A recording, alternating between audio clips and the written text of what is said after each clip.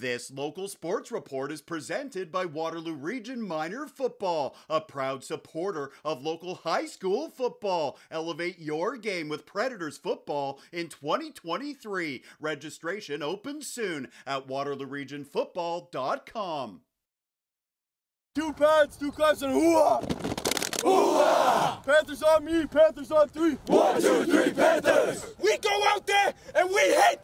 We play some smash mouth football! You understand? Yes, sir! We hear when you hit them!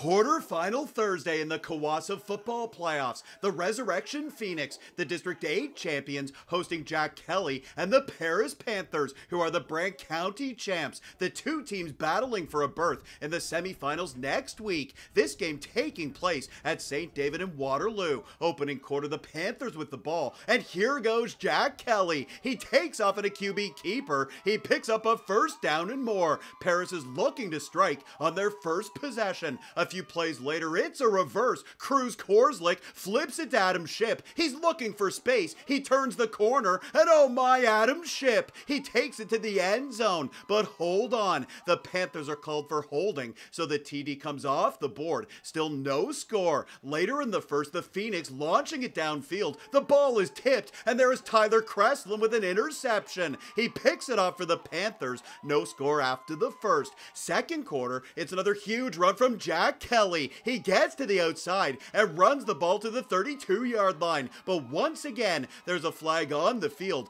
That run is coming back. Still zeros on the board. Later, the Panthers going back to the reverse, but this time the Res defense is ready for it. Tyson Paul runs over and makes the tackle. This game a defensive battle. We are scoreless at the break. Back to the highlights in a minute. First, a reminder this video is presented by Waterloo Region Football, a proud supporter of local high school football. Elevate your game with the Preds in 2023. Third quarter, it's a handoff to Jalen McKenzie, and it's a solid pickup for McKenzie. He takes it to the 11 yard line. The Phoenix on the move, and they cap off the drive with his touchdown run from Reagan Schwinn. That's an 11 yard run. The Phoenix with the first TD of the night. They are up 7 0. Back come the Panthers. This is Jack Kelly with a laser for Adam Ship. Beauty catch, and here come the Panthers. A few plays later, we've seen this before. It's an incredible run from Jack Kelly for a Paris touchdown. He breaks through and takes it to the end zone. We're all tied up. It's 7 7 after three quarters. Let's move to the fourth. The Phoenix looking for the lead. The handoff for Reagan Schwinn. He's weaving his way downfield and he gets the ball inside the 10 yard line. Nice run from the Ray train and the Phoenix ground game getting it done. Anthony Monroe running left and look out, he's got a touchdown. Monroe makes it 14 7 for the Phoenix with eight minutes to go. A little later, it's another touchdown for Reagan Schwinn. He scores on a short run, extending the lead.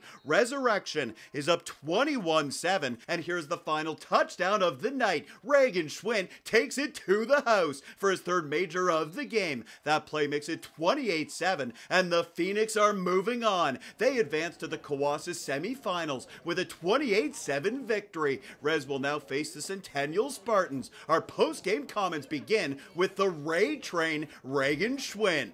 I mean, it was a good game. The first half was a little slow, but then we just picked it up. Coach always says we're better conditioned, and it really showed today. Yo, Reagan's one of my fellow running backs. Like, he didn't start off as a running back, but he came in during the season, and ever since he came around, it's been a blessing.